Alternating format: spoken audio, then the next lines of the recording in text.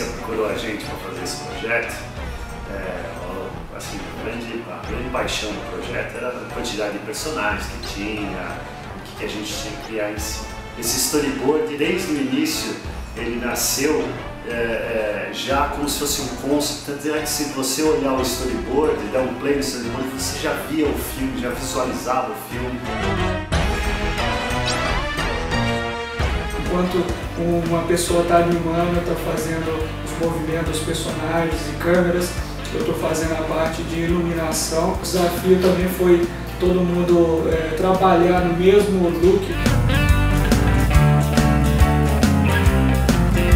minhocas vão ser mais felizes, mais saltitantes, as, as amoras também, elas como elas são pequenas, elas vão esticar bastante, mais que todos os personagens, elas são mais divertidas também. O Fini é aquele cara que ele é o showman. Você olha ele em 3D, todas as o, gesto dele, a fala dele, o jeito que ele anda, o jeito que ele, né, que ele apresenta, opa, né? Então assim, todas essas é, ele é o grande, o, o ator principal nosso.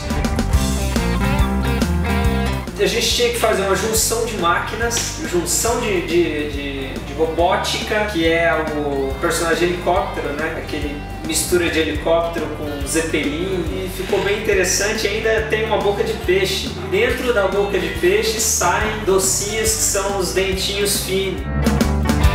Desenvolvi o cenário, a partir daí eu desenvolvi elementos como árvores de marshmallow, nuvens.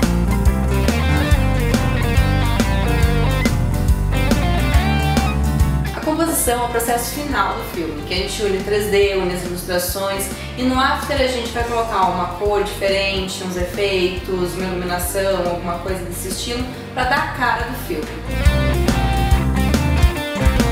Minha participação nesse job foi distribuir as tarefas de cada um, junto com o diretor, selecionar o artista que ia fazer cada função. Quando me passaram o briefing, eles queriam fazer uma música meio anos 40, a gente ficou imaginando nos personagens que a gente ia fazer, quem que a gente ia chamar para cantar. Parece que o pessoal daqui da Maruja entrou dentro da minha cabeça e copiou o que eu tinha pensado. Assim como o Vala também, da trilha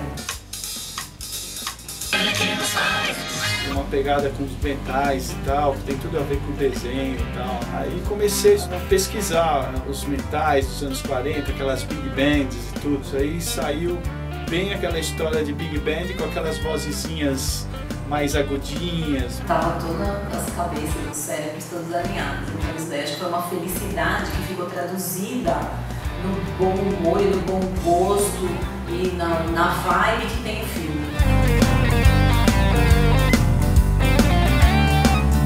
Ainda mais contar pro pais, amigos, falar, fiz tal coisa.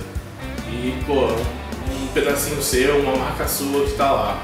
É isso, eu espero que vocês realmente gostem do, do que vocês vão ver. Eu acho que foi feito com coração, foi feito com dedicação e com, acho que com técnica, com know-how de toda essa equipe que está hoje na Larude, que faz, faz o dia a dia desse Balas de gelatina Fini. Elas são show! Quando o saquinho abre, tudo se ilumina. Porque saem de dentro as balas de gelatina. Nós somos tão docinhas e também azedinhas. É pura diversão com saquinho na mão.